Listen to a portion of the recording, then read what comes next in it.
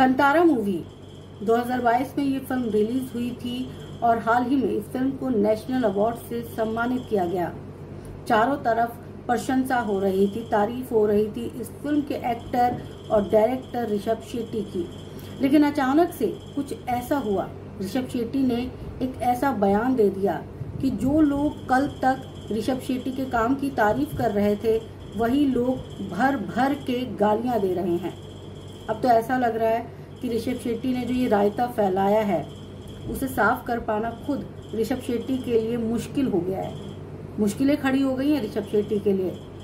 आपको बता दें कि ऋषभ शेट्टी ने बॉलीवुड वालों पर निशाना साधा और उन्होंने एक इंटरव्यू में कहा कि बॉलीवुड में जो फ़िल्में बनती हैं, वो देश की छवि को नेगेटिव तरीके से रिप्रेजेंट करती हैं। गलत चीज़ों को दिखाया जाता है।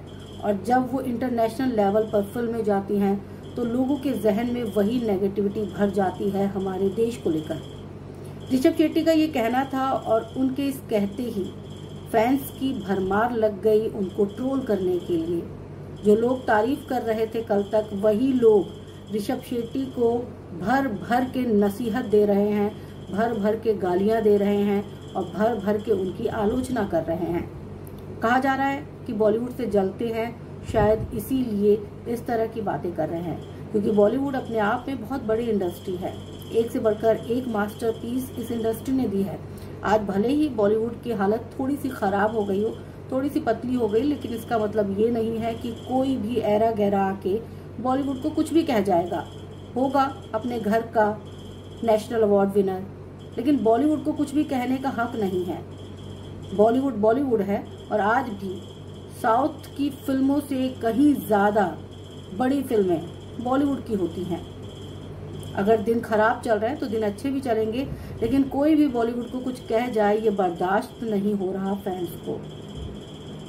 बहुत तरह की बातें ऋषभ शेट्टी को लेकर की गई है। कहा गया है कि ये बॉलीवुड वालों से जलता है, उनकी बराबरी नहीं कर सकता और शायद इसीलिए इनके मन में बॉलीवुड के लिए इतना नफरत भरा हुआ है। ऋषभ शेट्टी को यहाँ तक कहा गया है कि ये हिपोक्रेट है और डबल स्टैंडर्ड अपनाया हुआ है। दरअसल कुछ फैंस ने तो कंतारा मूवी के ही दो सीन को लेकर ट्रोल करना शुरू कर दिया ऋषभ शेट्टी को। अगर आप सबने फ़िल्म देखी होगी तो याद होगा कि उस फ़िल्म में कंतारा फ़िल्म के एक्टर ऋषभ शेट्टी जो है, अपनी को एक्ट्रेस को नहाते हुए दिखाया गया है। एक सीन है फ़िल्म में। दूसरा सीन जिसमें को एक्ट्रेस की कमर को चुकोटी काटते हुए दिखाया गया है।